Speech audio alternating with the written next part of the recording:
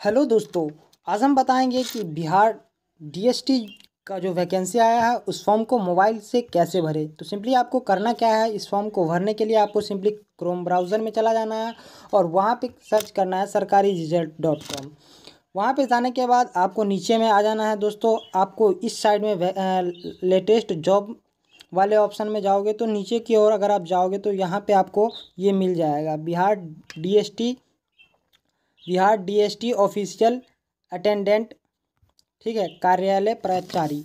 तो ये जो वैकेंसी है दोस्तों, इसमें ना ही तो एग्ज़ाम होगा, आप लोगों को पता होगा और ना ही तो मेरिट लिस्ट बनेगा। मतलब जो आपका टेंथ में जितना मार्क आया है, उसके हिसाब से आपको रिज़ल्ट दिया जाएगा। ठीक है, डायरेक्ट इसमें सिलेक्शन होगा। इस वैकेंसी के बारे में डिटेल में मैंने बता दिया था, एज लिमिट कितना है अट्ठारह साल है और मैक्सिमम कितना है, चालीस साल तक फीमेल के लिए और मेल के लिए सैंतीस साल तक। ये सब आप लोग जानते होंगे, ठीक है?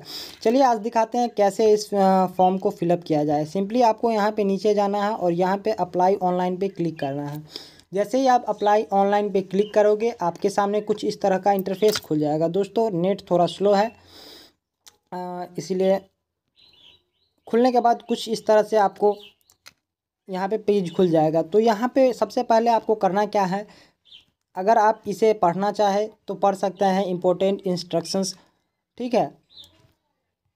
तो चलिए मैं आपको दिखाता हूँ आगे क्या करना है। आपको simply click here to register यहाँ पे क्लिक करना है और सिंपली आपको रजिस्टर कर लेना है। रजिस्टर करने के लिए सबसे पहले आपको यहाँ पे पोस्ट का नाम देना है, कार्य प्रचारी। उसके बाद अगर आप ये पूछ रहे हैं इसमें कि whether worked as a class fourth employ under the World Bank polytechnic educational तो इसमें आप अगर यस हो तो यस कर देना, या नहीं तो नो कर देना, ठीक है? तो सिंपली मैं यहाँ पे नो कर दे रहा हूँ। एक्चुअली मैंने अपना रजिस्ट्रेशन कर लिया है दोस्तों। तो आप जैसे जैसे फॉर्म फिलअप कर करोगे तो इस तरह से आपको नेक्स्ट स्टेप बाय स्टेप बता, बताता जाएगा। मैंने अपना रजिस्टर कर लिया है तो मैं आपको बता रहा हूँ। यहाँ पे आपको अपना नेम चूज़ करना है, ठीक है? और father's name date of birth आपको सही से मैच करना है। उसके बाद आपको सिंपली यहाँ पे ईमेल आईडी देना है दोस्तों। ईमेल आईडी देने के, वो ईमेल आईडी दोगे जो कि चालू ईमेल आईडी हो, ठीक है? तो उस पर आपको ओटीपी जाएगा। उसके बाद आप ओटीपी डाल करके वेरीफाई करा लोगे। वेरीफाई हो जाएगा तो आपको लिख देगा वहाँ पे वेरीफाइड उसके बाद मोबाइल नंबर डाल रहा है सेम मोबाइल नंबर को भी उसी तरह से मोबाइल नंबर पे भी ओटीपी आएगा, उसको भी वेरीफाई कर लेना है। उसके बाद स्टेट सेलेक्ट कर लेना है और कैटेगरी जैसे अगर आप, मैं जनरल सुन तो जनरल दे दूँगा। आप जो भी हो कैटेगरी वहाँ पर दे दोगे। उसके बाद यहाँ पर सिंपली डिस्ट्रिक्ट चूज़ करना है। आपको सारा बिहार का डिस्ट्रिक्ट दिया रहेगा। आप यहाँ से डिस्ट्रिक्ट सेलेक्ट कर लोगे। ठीक है? उसके बाद नेम एज़ पर आधार मतलब आधार पे आपका जिस तरह से नाम दिया गया है, उस तरह से आपको नाम देना है। उसके बाद year of birth as per आधार मतलब आपका डेट ऑफ़ बर्थ आधार पे कितना है, वो वो यहाँ पे आपको देना है आधार नंबर देना है। और सिंपली इस कैप्चा के साथ आपको यहाँ पे एग्री करके रजिस्टर कर लेना है। रजिस्टर करने के बाद क्या होगा दोस्तों, यहाँ पे लॉगिन करने का ऑप्शन आएगा। लॉगिन करने के लिए आपको सिंपली क्या करेगा, एक सबसे पहले तो आपको पासवर्ड जनरेट करने के लिए बोलेगा। यूज़र आईडी आपके मेल पे भेज दिया जाएगा और बोलेगा कि पासवर्ड आपको जनरेट करना है। तो पासवर्ड सिंपली आप वहाँ से जा कर के जनरेट कर लोगे, उसके बाद अपना यूज़र आईडी डाल करके यहाँ से लॉगिन कर लोगे। दोस्तों, मैं यहाँ पे यूज़र आईडी और पासवर्ड दे के अपना यहाँ पे लॉगिन कर ले रहा हूँ, ठीक है? सिंपली यहाँ पे मैंने अपना यूज़र आईडी और पासवर्ड डाल दिया। उसके बाद यहाँ से मैं अपना कैप्चा यहाँ पे जो मिला है, उसको डाल दूँगा। नाइन वाई और उस तरह से।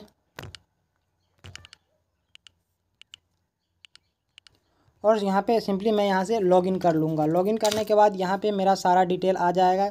जैसे कि आप लोग देख रहे हो मैंने यहाँ पे अपना photo photo basic information personal detail qualifications upload photo signature वगैरह अपलोड कर दिया गया है। सिर्फ़ मेरे को यहाँ पे आ, आ, सर्टिफिकेट डिटेल फिल करना है और फाइनलाइज करना है। तो चलिए, इसके लिए करना क्या होगा दोस्तों? सबसे पहले तो बेसिक इंस्ट्रक्शंस में जाना है और किस तरह से बेसिक इन्फॉर्मेशन आपको डालना है, वो तो रजिस्ट्रे रजिस्ट्रेशन करने के वक्त ही आपका बेसिक डिटेल कंप्लीट हो जाएगा। उसके बाद आपको पर्सनल डिटेल मांगेगा तो पर्सनल डिटेल पे सिंपली आपको क्लिक करना है दोस्त, दोस्तों, यहाँ पे पर्सनल डिटेल में आपको करना कुछ नहीं है। सिंपली आपको रजिस्ट्रेशन के वक्त में जो जो इन्फॉर्मेशन डाला था आपने, वो तो आ ही गया होगा। लेकिन इसमें करना क्या है आपको?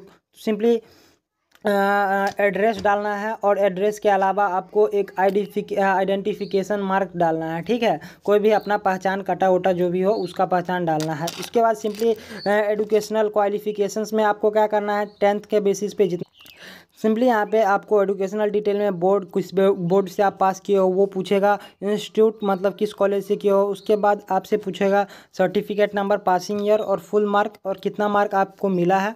और साथ ही इसका परसेंटेज पूछेगा। तो ये आपको डालना है। इसको डालने के बाद सिंपली आपको करना नेक्स्ट स्टेप में क्या है दोस्तों? सिंपली उसके बाद आपको क्या करना है, फ़ोटो और सिग्नेचर यहाँ से अपलोड करना है। दोस्तों, फ़ोटो सिग्नेचर के बारे में बता दूँ कि फ़ोटो आपको पचास के बी से नीचे का करना है अपलोड और सिग्नेचर जो है आपको हिंदी और इंग्लिश दोनों में मांगेगा दोस्तों। तो सिग्नेचर आपको क्या करना है, हिंदी और इंग्लिश में बीस के से नीचे का फ़ोटो डालना है। उसके बाद सिंपली यहाँ से आपको सर्टिफिकेट डिटेल डालना है दोस्तों। तो सिंपली मैं आपको अब यहाँ से दिखाऊँगा कि किस तरह से सिंपली आप यहाँ से डालोगे। जैसे देखिए डोमिसियल सर्टिफिकेट है तो आप किसके द्वारा सीईओ या आरओ के द्वारा बनवाए हो या एसडीओ के द्वारा या डीएम के द्वारा तो वो आपको डालना है और कब बनाया हो, उसका डेट भी आपको डालना है। उसके बाद कैटेगरी सर्टिफिकेट आपको देना है दोस्तों, उसके बाद डिसेबिलिटी सर्टिफिकेट उसके बाद अगर ward ward of freedom fighter certificate है तो आप उसको भी डाल सकते हो दोस्तों यहाँ से। उसके बाद दोस्तों यहाँ पे experience certificates in in case of class four employ of the World Bank अगर ये है आपके पास तो इसको भी डाल सकते हैं और सीधा सिंपली यहाँ से सेव कर सकते हो। और सेव करने के बाद गो टू होम पे जाना है दोस्तों सिंपली और उसके बाद करना क्या है दोस्तों? यहाँ पे फाइनलाइज एप्लीकेशन यहाँ पे जाओगे सिंपली दोस्तों और फाइनलाइज एप्लीकेशन जब तक आप देखिए अपना सर्टिफिकेट डोमिसियल सर्टिफिकेट डिटेल नहीं डालोगे तब तक आ, आपको नहीं होगा अगर जनरल कैटेगरी से हो तो। सिंपली उसके बाद क्या हो जाएगा दोस्तों आपका ये फॉर्म फिलअप हो जाएगा। तो मैंने ओवरऑल इस इस तरह से आप सिंपली अपना फॉर्म भर सकते हो। ठीक है? तो उम्मीद है कि वीडियो आपको इन्फॉर्मेटिव लगा हो। वीडियो इन्फॉर्मेटिव लगा हो तो प्लीज़ लाइक करें। साथ ही हमारे साथ बने रहें। मिलते हैं किसी और वीडियो में। और नए टॉपिक के साथ। तब तक के लिए धन्यवाद। जी हाँ दोस्तों नेक्स्ट वीडियो आएगा। मतलब जो भी नए नए नोटिफिकेशन आते हैं सरकारी सरकारी जॉब से रिलेटेड तो मैं उसका वीडियो आप तक सबसे पहले पहुंचाता हूँ। तो इसीलिए मेरा आपसे यही रिक्वेस्ट है कि आप जल्दी से जल्दी अपना आवेदन कर ले या हमारे साथ जुड़े रहे ताकि सबसे पहले आपको डिटेल मिल पाए। ठीक है?